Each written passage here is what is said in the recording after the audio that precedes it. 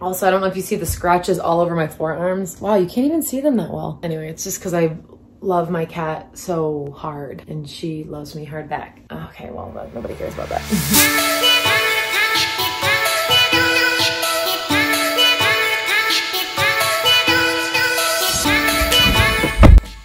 This is the first time I've been behind the wheel of a car in maybe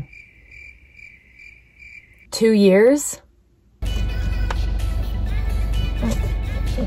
Right, first of all, it's not like the turn the key in the ignition type of car. You press on the brake and press a button. Come on, 2020. So I don't need these. All right, now I just need to move this forward. This is a newer car for me. I'm used to 1998 Bonneville. Wow, brake is on the left, gas is on the right. My tunes. So I thought today would be the best day to just be the most basic I've ever been. Take a TikTok idea, drive through Starbucks, and try a modified fall drink.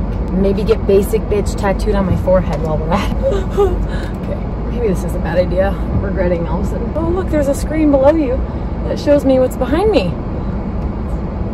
Oh, there's a car behind me and that's giving me anxiety. Can everyone see that I'm filming this? Okay!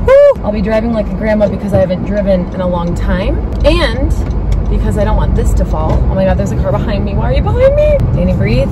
Oops, stop sign. Oh, this was a bad idea. Okay. Oh, this is a red light and I don't know if you can turn right on red in Colorado because you can't in New York, but you can in Michigan. I don't know. Maybe I'll turn just for fun. I should have asked. Okay, this person, I'm just gonna go. Ah!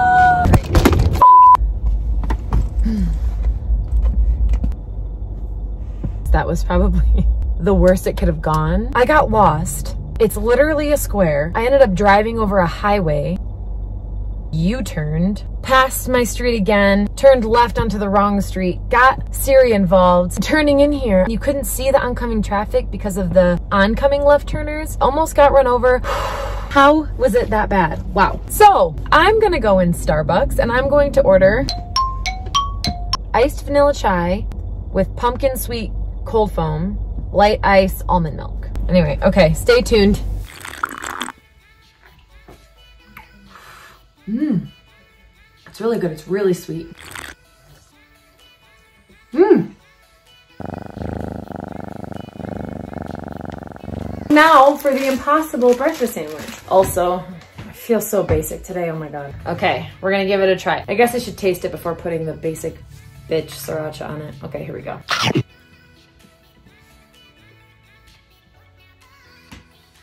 Tastes like sausage to me and I'm the ultimate meat eater. I've never sat in this particular location of my room, but my last video I was sitting on the bed, so switching it up. This happens every time. Danny. Not how it's spelled, but I'm fine with that. You didn't like your spot that I put here for you? I haven't really addressed the pandemic at all. It's obviously what's taking over our lives right now. A lot has obviously changed since the beginning of the year. I started out 2020 as a 20 something in a great long distance, but great relationship, living on my dream cruise ship, dancing and traveling the world, to now as a single, unemployed 30 something living in Colorado with my mom. All great things. It's just I never would have expected I would be here based on how I started the year. And I feel like we all went through and are still going through different phases of the pandemic. Like there's different stages of grief. I feel like there's multiple stages of being in a freaking COVID pandemic. For a lot of us, it started out exciting, especially being on a ship. A lot of us didn't know the severity of it. So we were told we weren't gonna have guests for a whole month. And it's like, score sorry. Then when I figured out we were all gonna go home about three and a half months early, that's when the fear and anxiety kicked in because I started realizing how serious it was. Fear and anxiety kind of turned into depression. At least it did for me. This pandemic, like you could not have planned for it. It was something else. For a good two months, I was for the first time in my life depressed. Then I felt like a lot of us who were really, really down finally realized how great it was to be handed this break from life. We started taking advantage of our free schedules. I started taking care of myself, dance class like three days a week. I finally felt productive. I was like, no, I'm never gonna have this much time let's go. But then the next stage was more acceptance and being grateful for like the small things. In the previous stage, I was being productive because I felt I had to. In the acceptance gratitude phase, I felt like I was doing it because I wanted to. I was having fun. I didn't feel like I was stressed. I wasn't putting myself under any pressure. I wasn't forcing myself to do something I didn't want to do. Then, when you start to really accept and feel comfortable where you are, that can sometimes turn into laziness. I was taking advantage of binging all these TV series. The fact that I can sleep in if I want to. I don't have to wake up at 7 a.m. every day like I do right now. But there is that phase where you just enjoy it a little too much. And then the next phase and I feel like that's where I'm at, and I hope I stay here, but I'm sure it'll change, is balance. I feel like I have a handle on this pandemic. I'm very comfortable right now. I have my lazy days, I have my productive days. I finally have it all leveled out, and I feel really good right now. Again, that could change tomorrow. Oh my gosh, I'm not drinking my coffee. So I actually started writing like a pros and cons list. When 2020 took a turn for me is when the boyfriend and I broke up. It was just sadly long distance. I started recovering from that and then COVID happened. and then I got home, which was great, but quarantine has a different effect on you. It sounds all good on paper, but I felt like there were some pretty dark days. And then my grandma passed. Black Lives Matter started with major trauma with George Floyd and the police.